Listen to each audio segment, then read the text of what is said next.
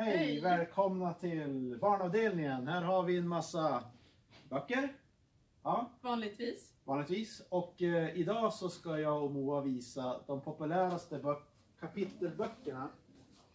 Eh, och hur gammal är man om man ska läsa de här nu ungefär då? Ja, vi brukar ju säga som att det finns det är mer en läsnivå, men åldern vanligtvis mellan 6 och 9 år. Mm. Och eh, jag är ju en gammal gubbe så det var länge sedan innan jag, det var länge sedan jag var sex år. Men jag vet ju vad de andra barnen gillar. Eller jag menar, jag vet vad barnen gillar. Så jag börjar visa här på Magi och fantasi som är en populär genre. Och då hade vi såklart Blade-böckerna. Eller Beast Quest är jättepopulära.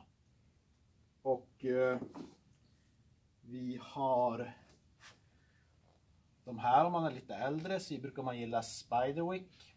Men om jag skulle visa min favorit så är det faktiskt de här. De här tycker jag själv är jättebra. Jackböckerna. Var försiktig med böckerna Tommy. Ja. Och det här, det är lite mer som, eh, det kallar man för urban fantasy. Det är fan, fantasi fast i stadsmiljö och det är massa vampyrer och eh, varulvar och grejer och de utspelar sig i Stockholm tror jag. Och Gröna Lund och sådana här platser. Ja, det är jättebra. Ja, får jag visa en? Ja, du kan få visa en. Här.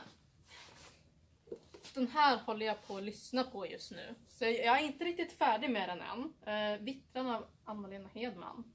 Eh, och det har nog också lite så här, lite urban fantasy, utspelar sig som här. Det har inte riktigt kommit in så mycket magi än. Men jag förväntar mig att det kommer det. Jag vet inte, ska jag berätta?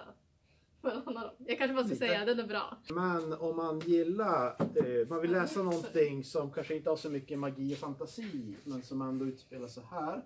Så kan man läsa de här nya utgåvorna av Katitzi. Och de utspelar sig faktiskt, i alla fall eh, några av böckerna, så är ju Katitzi som då, det handlar om en, en romsk flicka eh, för kanske 50 år sedan. Och eh, de här böckerna utspelar sig i Umeå och Vännäs och lite så lokala platser. Också bra. Djurböcker. De populäraste djurböckerna det är ju Sigge. Ja, helt Häst. klart. Ja, och de är också ganska bra. Kanske vi ska visa. De, de är ofta ganska trasiga för att de är vällästa. Ja. Det, det är tecken på att en bok är välläst. Ifall Och, det är några sidor som håller på att ramla ur. Det är Linn Hallberg som skriver om den här hästen Sigge och man får också följa alla eh, saker som händer i stallet och med ridkompisarna och så här. Så de är bra. Hon har också skrivit böcker om Teddy som också finns här. Eh, här på Familjekompisar och kärlek så har vi ju Katitzi som också är jättepopulär. Va? Du sa Katitzi. Satsiki som är en jättepopulär serie böcker och de är också lite moderniserade nu, de här nya utgåvorna så har man eh, lagt till att barn har mobiltelefoner och så här så att de känns lite moderna och fräscha.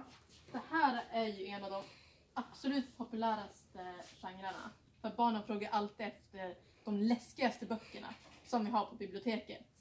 Och jag tror inte att eh, 20-åringar är redo för Stephen King än. Men Så vi, nästan. nästan. Men vi försöker få dem hit då.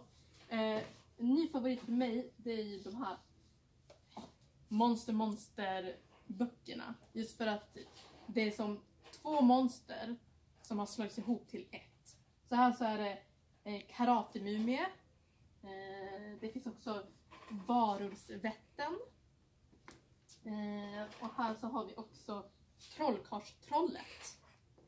Kan jag också säga att några av de mest hemska böckerna de är faktiskt utlånade.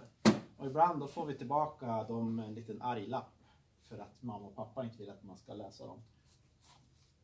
Annars är Nelly Rapp en väldigt bra bok. Mm.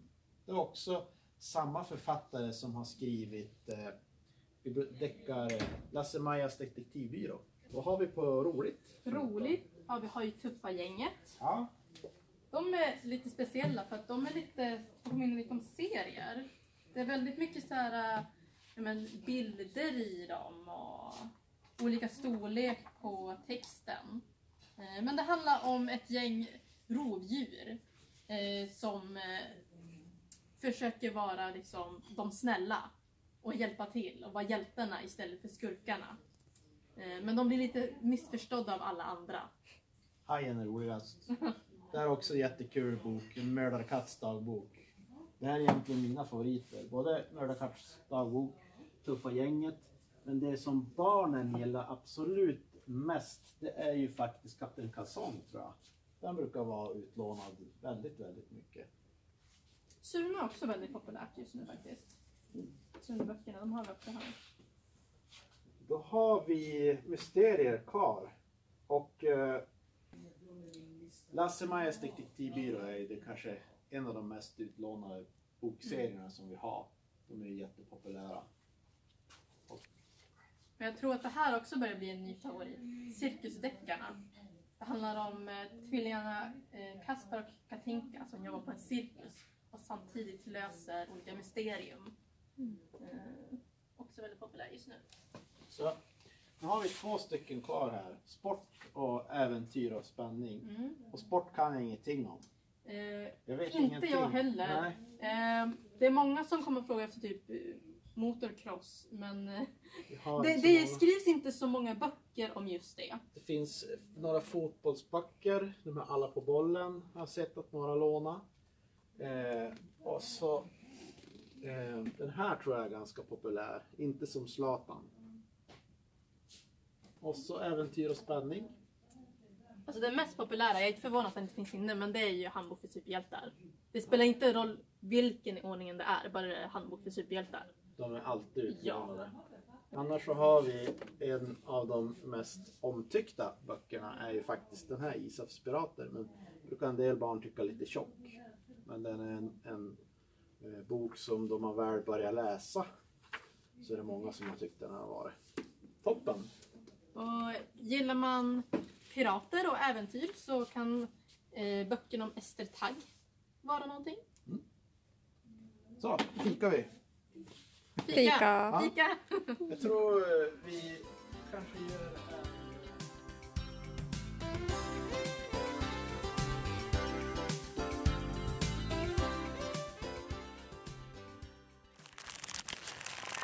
Fika.